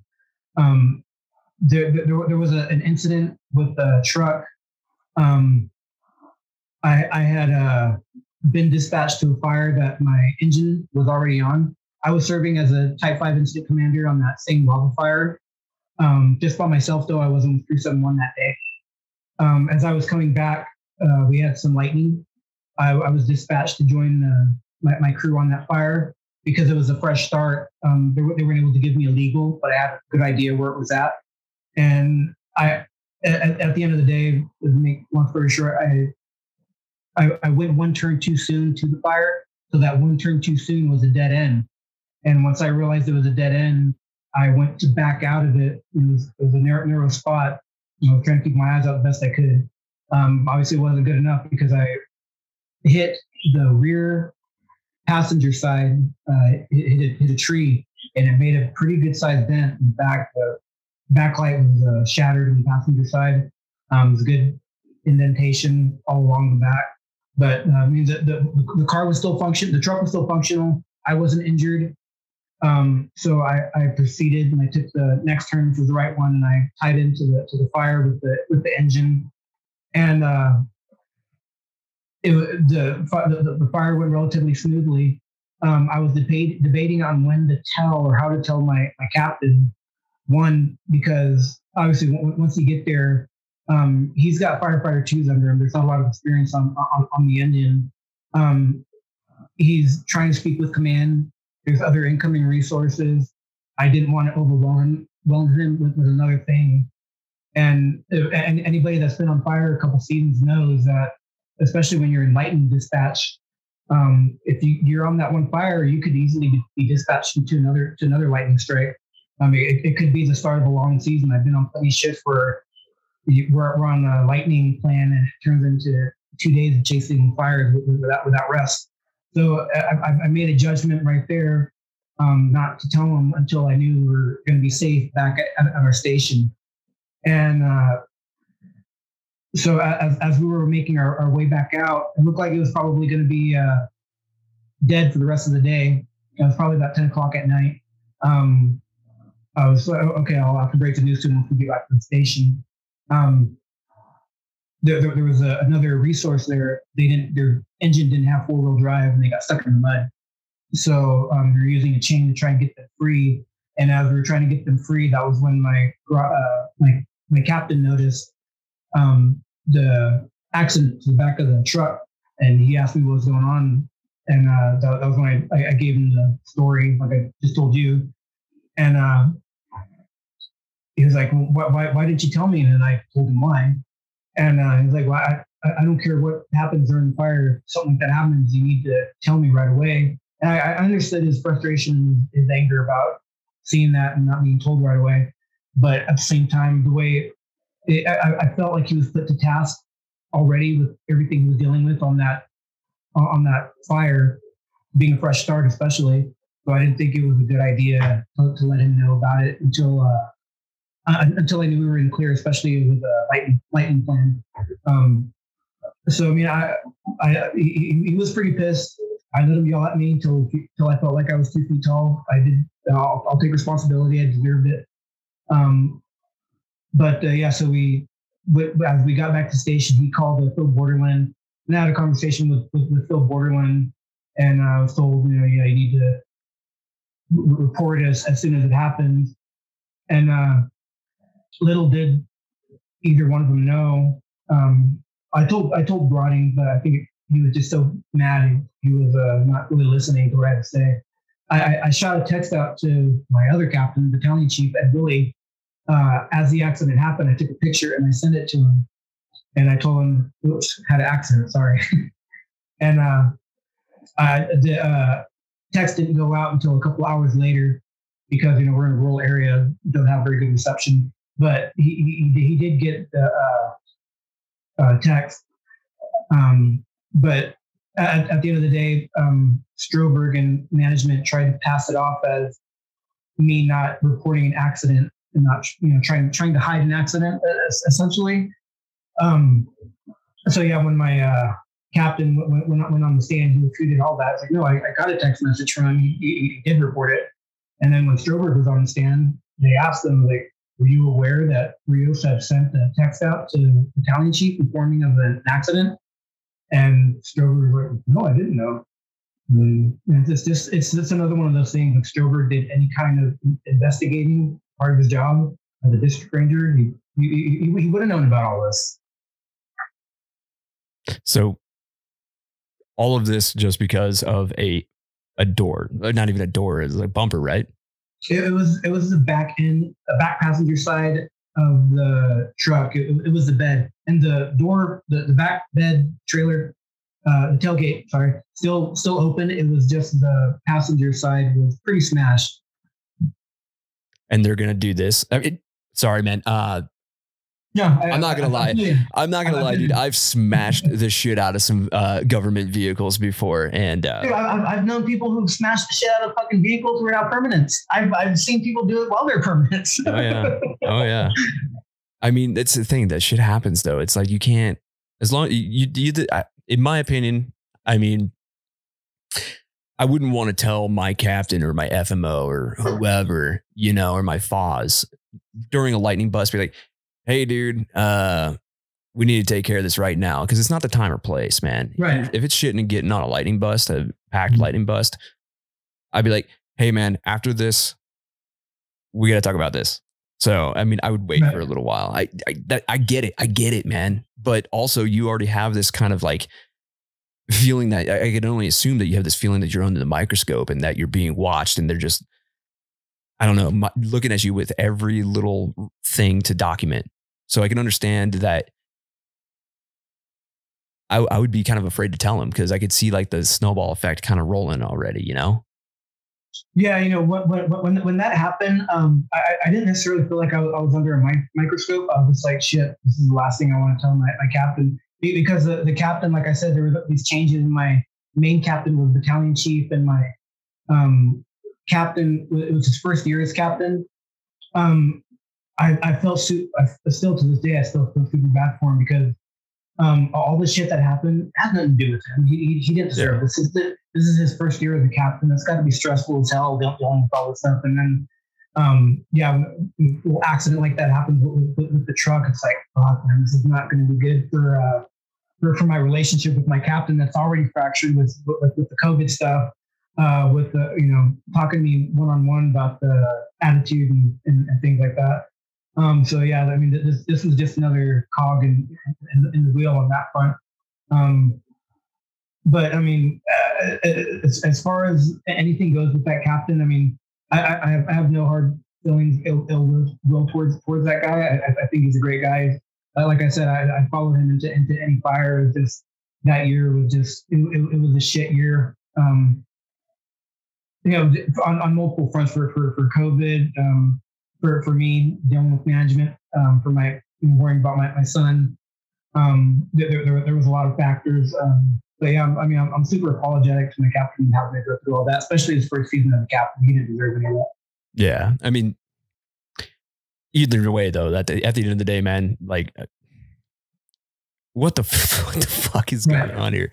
That's the, that's the thing, man. It's like, and I'm looking through your the court document right now, and it's it's saying that the uh, Office of Special Counsel or was was contacted, and uh, it was alleged that the agency did not hire you rehire you for the 2021 season because of the July 8th 2020 social media post. Now, that's a that's yeah, you can't do that. That's a whistleblower protected uh, action. You're not rep- and also you're off duty as well. Right. So um, part, part of the documentation that that's released from, from the EEO investigation was the fact that they had multiple meetings uh, about me and my social media posts. And there was a guy uh, who, uh, I, I forget exactly what his, his title was, but um, is Jack Fisher. Um, he had a, a, authority over what was offensive to the CFR and what wasn't in these documentations that I had and he noted to the Klamath National Forest Management that my post did not offend the, the, the CFR and that it was likely a whistleblower protected act. He didn't conclusively say it was, but looking at the documentation, my, my, my post, um, he said that as frustrating as it is, it's uh, likely under whistleblower protection. Yeah, it's uh under the whistle. Uh, I'll read the part of it here that says it's under the Whistleblower Protection Enhancement Act of 2012, the WIPA. uh, WPEA, the board has jurisdiction over an IRA appeal if the appellate has exhausted the administrative remedies before OSC makes non frivolous allegations that one, they're made by protected disclosure pursuant to 5 USC, blah, blah, blah, blah, blah, uh, or they have engaged in a protective activity described under 5 USC uh, 2302B9A1 B, C, D, and 2. That's a lot of CFRs. And if you know how to yeah. read legal code, well, that's kudos to you. But uh, disclosure or protective activity was a contributing factor in the agency's decision to take or fail to take a personnel action as defined by five, blah, blah, blah, blah, blah. The precedent case would be Kerrigan versus Department of Labor. Um, goes on to say it's actually got a, a ton of precedent cases. And basically, at the end of the day, this action that they tried to uh, deny you rehire rights under was a was not a prohibited action on your part. Mm-hmm. So, and there's like a ton of other stuff that is mentioned in here, and there's a ton of uh, case precedents, and it all involves. I mean, there's one here from the Social Security Administration, the Air Force, Homeland Security, Department of Labor, it goes on and on and on and on and on because they have to disclose all this stuff in mm. uh, in the judgment there or the uh, the verdict. But yeah, man, I mean, as far as it goes with you, I mean, I'm just reading off the court document right now and kind of scanning through it. But from your understanding, how did this whole thing play out, and how did it how did it all go down with you? Um, what, what, do you, what do you mean specifically? Like, what was to, if you were talking to say I was, uh, or say I was you and you were the lawyer, you're lawyer, right? Explain uh, it to me like I'm five. How did this whole thing like work and why were you protected? Um, so, I mean, I, I think it says in the, the, the, judge's decision, so that there, there was two, um, two different uh, arguments that, that I had made that the judge went through. One of them was that I, I felt it constituted gross mismanagement mm-hmm. because uh, the, the, the plague was the plagues, the, plague. COVID thing was uh, it, it was recognized by the U.S. government as a public health safety, uh, right? Uh, public yeah, health as, a, as a, a, public health issue throughout throughout the U.S. And um, I constituted it as gross mismanagement because uh, Klamath National Forest Management didn't have any protocols to protect from a COVID hot zone from a recognized um, health hazard across the U.S. Um, the, the, the, judge denied that as the whistleblower status status claim because uh, gross mismanagement um, refers more to being able to adhere to their mission statement and uh, their, their, their, their mission statement doesn't have anything really to do with uh, um, taking care of firefighters and for, for isolation. You know, there, there wasn't. Uh, it, it, it, it, didn't go against uh, protecting the lands. Was another probably a better, better point. Um, so because it didn't constitute that, there, there wasn't gross mismanagement. Um, another argument that I had made was there that there was an immediate threat to the public safety, and that's where the judge ultimately agreed with me on. Um, so because of that singular one, um, does have to fall under every possible whistleblower scenario. Just has to fall under one. Because of the threat to public safety, it fell under whistleblower protection. Yeah, because I'm reading through the uh, gross mismanagement thing, and it's he has the judge has the justification of why he can't agree with that necessarily, uh-huh. but right below that in the next uh, argument, where is it? Yes, yeah, uh, substantial and or substantial and specific danger to public health and safety, and that's where the uh, judge ultimately agreed with your your claim, your case. Mm-hmm. Yeah. So, and this is long. I'm on page 15 of shit, 30 something. Yeah, it's a big read. 41. And, and you know, like like I said, you know, all this right here, that's what that's condensed down from all this documentation. There's hundreds of pages here. Yeah. God, man, this is crazy. This is a long document, man. And then all the yeah, there's the actual court order. But this, the thing is, is that we always have this like this anvil over our heads pretty much about uh, speaking out or we always get social media and stuff like that posted over like like hung over our heads like I I I and some of it is, you know, like obviously if you post a photo of someone's house that burnt down and right. they weren't notified or you mm-hmm. posted mm-hmm. something about uh, like a like a fatality fire, right? Mm-hmm. Before it was publicly disclosed, then you can get right. your ass in trouble, and that makes sense yeah. to me. Mm-hmm. Yeah, I mean, I've, I've had a couple of people, I've seen a couple of people in my crew over the years get fired. Um, not not too many, only two, but I mean, they, they posted some what they thought was some pretty innocuous stuff. Turned out to have people's uh, homes in them. Um, they weren't identifiable address, but if you knew the location, you could identify it. Yeah. And that got them in hot water anyway, and they ended up getting fired. Yeah. I mean, there is uh, this, I guess you have to use discretion, is what I'm getting at. You know, I mean, like, mm-hmm. don't just start taking photos of shit that you uh, you may not always think twice about it, right? And that that makes sense to me. But I mean, yeah. what you did and the repercussions that you faced further down the line after this whole thing was like posted and it's you know out there i mean that's i'm not i'm not saying that everybody should do this because there is a, there's a chance that you are not going to have that that person's not going to have the same outcome as you but this stuff happens all the time and there's like mm. these whistleblower protections they act, they happen they, they're there for a reason for instance for you which it worked out in your favor but also what about the other stuff like failure to do uh actual gross mismanagement stuff right? Which you didn't right. get right? But yeah that, that so the public yeah, safety the yeah. mismanagement one um the the, the judge cited uh, the forest service mission statement which had to do with protecting the uh serving the public and protecting the land something of that nature.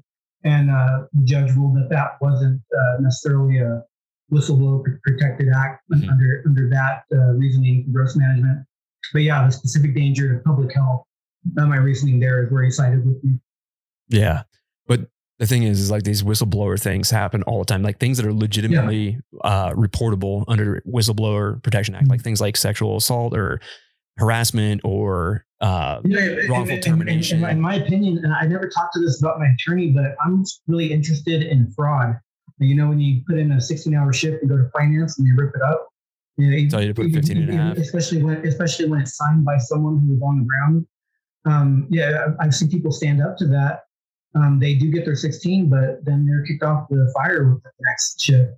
Um, so I'm not I'm not sure if that's a whistleblower protected act. That's, that'd be something I'm I'm really interested in um, now that this is all behind me and uh, uh, exploring. I wonder if I could talk to my attorney about that. Yeah, I'm about to say if uh, your attorney wants to join us and explain how all this works, because I, I, I guess what I'm getting at is there's a lot of people out there that have uh, done the right thing and have mm-hmm. suffered the consequences for it. I don't know if right. that's necessarily whistleblower or if that's something else that they'd be tra- protected under, but I've seen people get fired for bullshit reasons because, well, mm-hmm. they spoke out. Yeah, that's exactly. and that's mm-hmm. that's the bigger that's thing, only, right? Their only uh, crime is just speaking out. Yeah, and I think that's the bigger picture thing too, is that that, that culture of fear and that culture of reprisal and fear of reprisal. It, mm. It's it's coming to a head, and I think people are finally getting pissed. And when your story broke that you won your case for the whistleblower protection, that moved a lot of people, and I think it empowers people. Is what I'm getting at. It, it empowers people to be proactive in doing what's right. We're always from the day we step foot in fire, we're always told, do what's right, duty, respect, integrity, right? Mm-hmm. Well, how come that's a one way street with some of these places? You know? Well, because most of the people in Forest Service management, they never went into fire in the first place, so they never heard that. know, I mean, yeah. I mean, I mean, we do have a paramilitary organization ran by people with, you know, doctorates, never set foot in the mm-hmm. fire line. But that's right. that's that's a completely different, larger story, right? That's a yeah. completely different subject. As far as you go, where where does it go from here from for you? Um, yeah, I'm, I'm not exactly sure. So, I, I mean, the, the, the, fact that I even won the case, um, it, you know, just recently, uh, you know, once uh, once everything was finalized with the attorney and, and the defense about settlement, um, it, it, re- it, really landed home that, yeah, I actually fucking won after almost a year and a half of going through this. Um, so I, am not exactly sure what the next plans are. I, I, know there's people out there that want to hear my story, and I'm, I'm more than happy to be as open as possible to make time um, for anybody that wants to hear what I went through um, and how I ultimately became victorious. Um, to, to totally open to uh, um, have, have, have interviews with, with, with people about that, uh, especially because I know how important this is to the wildfire community. This definitely is, is a precedent. Um, and I, I, I, hope, and I, I know I know two people who have come to me and uh, told me that uh, because of what I went through and winning the retaliation case, it inspired them to actually uh, look into uh, their, their, their own their own case for, for their own grievances. Um, I, I sent you the, the email to, to one of them. It's a person that was in fire uh, for the Park Service wants yeah. to do it, do an interview with me. Um, uh, that's supposed to happen on, on Monday.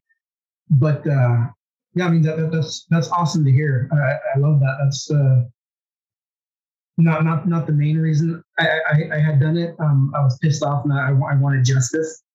And uh, but you know now now that I have that justice, uh, people can get a piece of it too, go for it. And that's the thing is the power is really in your hands. I mean, yeah, not all of them are going to uh, be a sink, you know, a, a, bucket shot and like scoring that triple, that that three pointer from the uh, from the line, right? But yeah, I mean, that's where your attorney comes in, and that's where the important part is to have legal uh, defense as well, or not legal defense, but yeah, legal representation. Representation, yeah. And uh, as far as uh, attorneys go, um, I, I, I sunk my own money into securing my, my own defense attorney, and that was thousands of dollars. Oh yeah. So I mean, if you if you're really serious about pursuing any action against management, um, be prepared to put in a bit of your own money. Um, l- luckily for for me, it, it, it, uh, I knew tax season wasn't too far off, so it wasn't going to hit as hard. But I mean, it's it's a bit of money, especially when you're when you're a GS4 grade and you know you got to secure X this X amount of money for for your attorney. But uh, I, I, highly recommend if anybody is really serious about it, don't talk to a friend and don't talk to a friend of a friend. Secure a lawyer. It's going to cost money, but if you really believe in your case, it's going to be worth it. Well, yeah, and when you talk to an attorney, they're going to screen your case and they're going to look at the burden. Yeah, yeah, I was, I was vetted thoroughly. Yeah, you'll get vetted through the attorney, right? Now, if you have yeah. a legitimate case to where it's a, a, a thing that they or have a good chance of winning because whistle it even says in the court documents uh, that whistleblower claims are very hard to win. Mm-hmm. It even says that in here. Yeah. However, there might be opportunities for some some attorneys to do pro bono and pro bono work is or contingency work rather not pro bono pro bono is for free but uh contingency like they'll work off of a contingency so if it actually goes to court and there is a settlement or something like that, they're going to take a cut, or if not all of it. But yeah, be prepared to pay up some money yeah, for these if, for these attorneys, man. They're expensive. serious, yeah, yeah. I've, I've, had some people DM me about um, go, go, going going through legal grounds to uh, go after the Forest Service, and you know what one, one thing they tell me is uh, you know they're talking to friends who are attorneys or friends of friends who are you know attorneys. You know, if, if you're really serious about it, you got to put your money where your mouth is. You got to put in those thousands of dollars and secure the training. Um, I'd, I'd, like to give out how much I spent. Don't know, uh, kind of private with, with, with, my attorney, so I don't want to put him on blast. Um, I don't know if, if, he has a varying rate or what, what, have you, but uh, um, just be, be prepared to spend in a good chunk, chunk of money on, on, on, an attorney if you're serious. But like I said, it was well, well, well worth it. Oh yeah, man. Well, Thank you for telling your story and telling us how this whole uh, this whole incident kind of went down and the remedies to it. I mean, that's huge. I mean, there are options for the people out there that have something similar going on, or maybe mm-hmm. something uh, completely different that maybe they spoke out about something else that got them fired. And if it was like yeah. a legitimate concern to where it's a a reprisal thing, well, then you might have legal grounds to fight back. And that's a big thing because a lot of people are scared to do that. Yeah, I mean, you know, there, there's uh, oh, just over the years, you know, I've, had captains try to challenge, you know, what what what hazard pay would constitute. you know, because they're, they're, they're, they're driving in, in the snow, going to a medical. The, the roads are slick, but I, that doesn't constitute hazard pay. It's like how, you know, we're, we're in a 30, 50,000 pound vehicle where we're on unsafe roads, we're responding to a medical where there's inevitably fluids from the other person. How is that not constituting hazard pay? It's like, why, why is finance being so stingy about getting us what's very, very, very basic? You know, obviously, okay, there's road hazards, there's fluid hazards. That should be hazard pay. You know, when when, when a sawyer is chop, chopping up and doing a project work, and just falling a tree, you know, they're not getting hazard pay. Like, why aren't they getting hazard pay here? Literally geared up. yeah. They're, they're, they're, they're, you know, anything goes wrong with the tree, if they miss any kind of uh, d- disease kill on, on, on the tree, the tree go, go the wrong way, you know, it, it's just, it, I don't understand why they fight so hard to not let us have hazard pay. And it, it's actually a really interesting that I, thing that I found out just last year when I went back to the private sector fire. Um, I'm on a company that does uh, daily rates. So it doesn't matter if I work 10 hours a day, 12, 16, I, I, I get I get a daily rate. And uh, the, the, the equivalent of the daily rate that I had gotten um, I was an engine boss trainee, so I got a little more, but I'll, I'll go back to the equivalent. A firefighter one daily rate last year was uh, 300 a day. If, if I if I was a GS4, um, I'd have to I think meet 15 hour shifts to beat that rate. And uh, on an engine, you're not guaranteed 15 hours. I've got, or 16 hours. I've gotten 15, 14s on, on the shift because I don't know, if finance is a little more stringy, stingy with uh, engines than they, are, than they are on hand crews.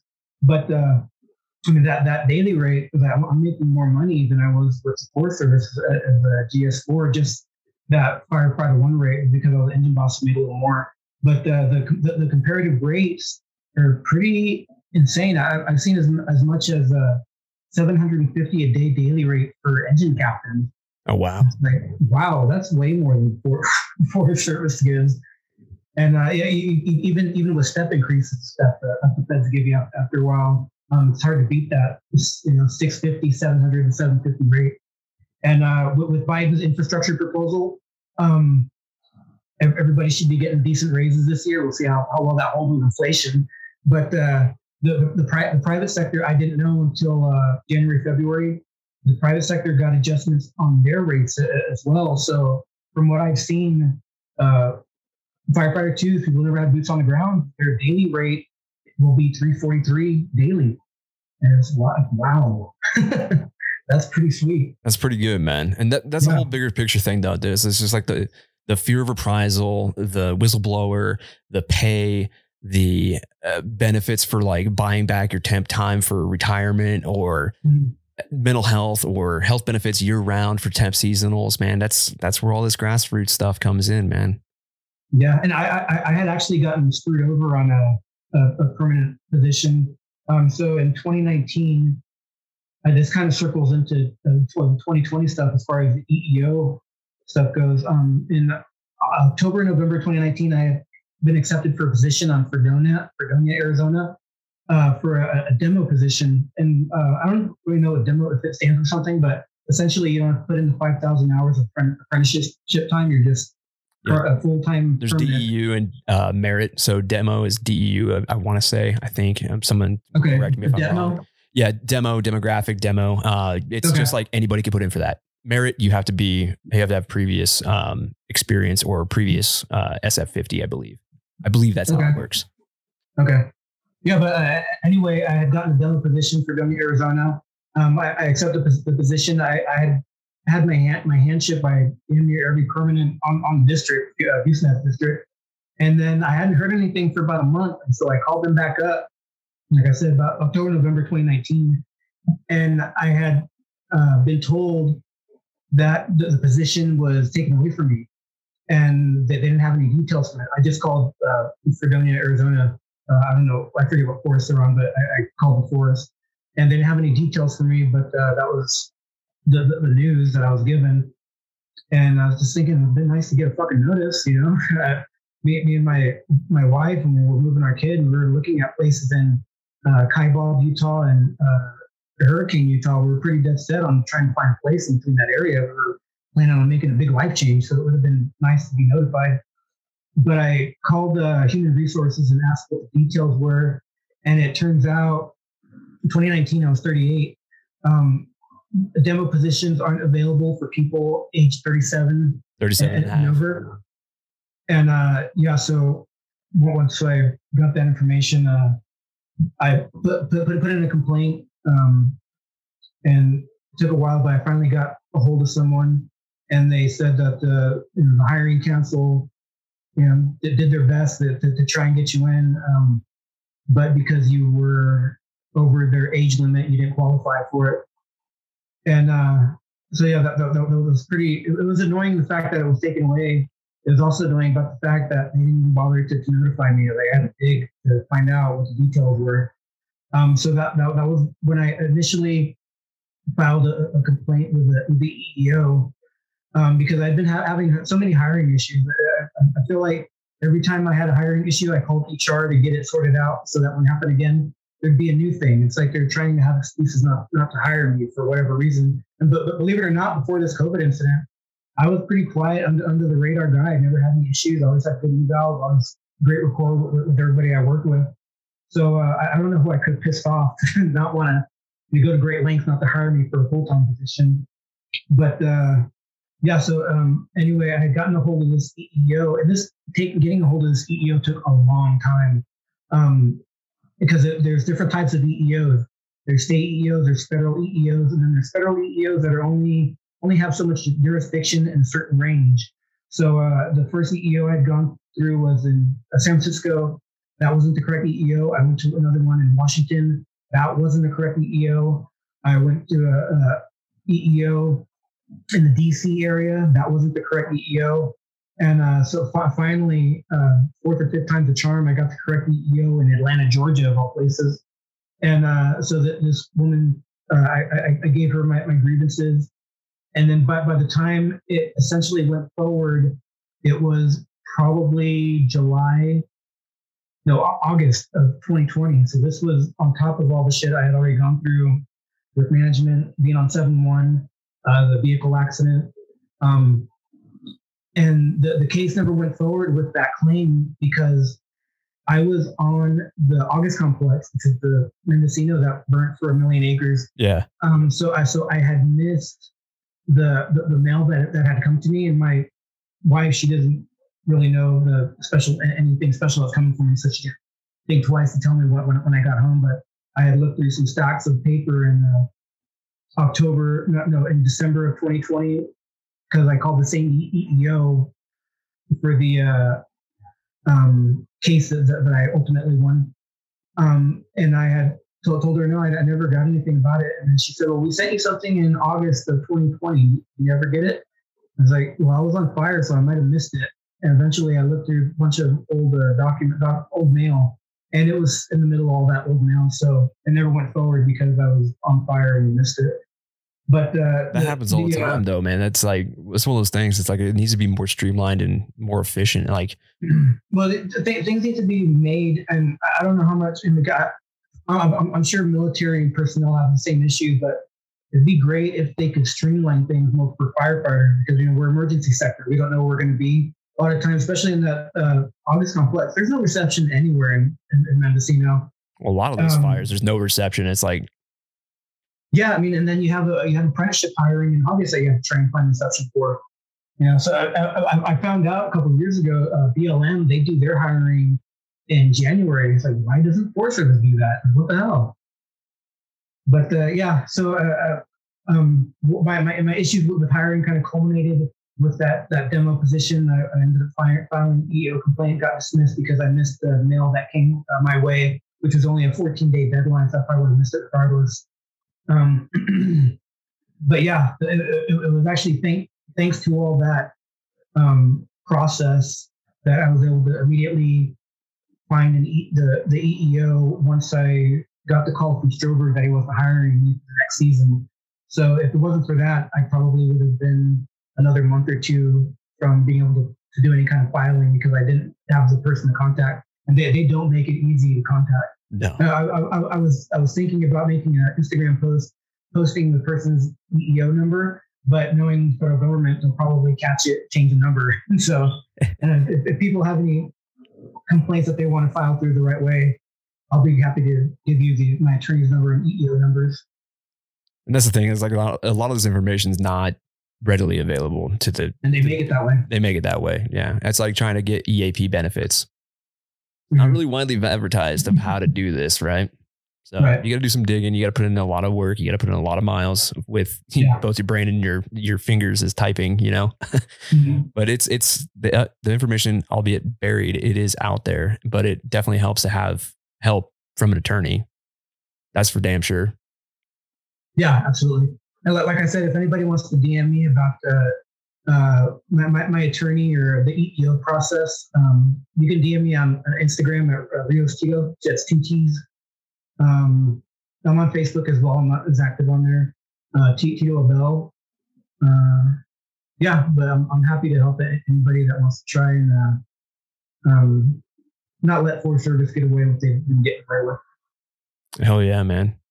Well, looks like we're getting towards the end of the show, man. And uh, yeah, as a per tradition, I always uh, give you the opportunity to give a shout out to some homies, heroes, mentors before we go. So who do you got for us, man? Um, let- let's see. I, I don't know. I'm, kind of on, on, the fence. Uh, you know, I, I don't really want to put too many people on blast. I don't want Forest Service management to hear this. Okay, we're going to target these people next.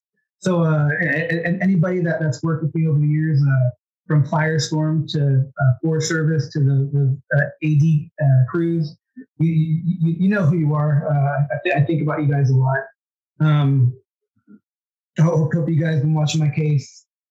Um, stay safe out there. If, if you're not in fire, but you still keep tabs, hope you're happy doing what you're doing now. Hell yeah. Well, Pedro, aka Tito. Yeah. Pedro, thank you so much for being on the show, man, and sharing your story. It's definitely uh, powerful stuff, and you know, I hope it helps uh, some people out there that are experiencing some similar things that you went through, or if not worse. I mean, yeah, I know there's a lot of people out there that have some bullshit that they're going through, and they probably need some uh, some justice, some closure as well. And I hope that your story inspires them to seek that. yeah, definitely. And thank you for doing what you do with, your Anchor Point podcast. It's been awesome. Yeah, thanks, man. Appreciate it. Well, cool, man. Well, thank you so much once again, and uh, yeah, we'll uh, get we'll keep talking, man. We'll uh, get you off the show, and we'll see you on the next one. So, everybody, stay Have safe out there. Later. And boom, there we go, ladies and gentlemen. Another episode of the Anchor Point Podcast is in the books with my good friend, Mr. Pedro Rios. Dude, thank you so much for coming on the show and uh, explaining what happened and giving your take on the situation. I mean, yeah, this is all public knowledge and it's all pretty much laid out there in the, uh, I guess, public lawsuit. The, uh, I don't know what you would call that. I don't speak legalese, but whatever paper comes with the judgment or whatever it is. So, yeah, you can uh, go. I'll actually, you know what? I'm, in fact, I'm going to put a link to the uh, actual judgment and uh, what the judge say, the, the said, the, the case, the whole the whole kit and caboodle. Right? I'll put some links in the show notes in case you want to uh, check it out. But Pedro, dude, thank you so much. I'm sure that your uh, story is going to help some other people because I know there is a big fear of reprisal out there. Unfortunately, it happens. Um, yeah, it sucks. And uh, yeah, uh, I guess you're going to be moving on to uh, greener pastures, hopefully. So, for anybody listening to this, take some notes. Uh, hopefully, this doesn't happen to you, but if it does, you do have some options. So, with that being said, for all those folks out there on the line, I hope you're uh, staying safe, staying healthy, and staying sane. I know this uh, season started off pretty dang early, and it's probably going to be a long one. So, buckle up for the uh, long haul. It's going to be a wild one. Stay safe out there. Special shout out to our sponsors. We've got Mystery Ranch, purveyors of the finest damn packs in the land. Mystery Ranch, built for the mission. Uh, if you want to find out more about the Backbone series, go over to www.mysteryranch.com and check out all they have to offer, especially you ladies, if you're looking for a new yoke or a women's specific fit yoke, that is. We got Hotshot Brewery, kick ass coffee for kick ass cause, and a portion of the proceeds will always go back to the Wildland Firefighter Foundation. So go over to hotshotbrewing.com and check it out. We've got the ass man himself over at the ass movement, Mr. Micah Booze.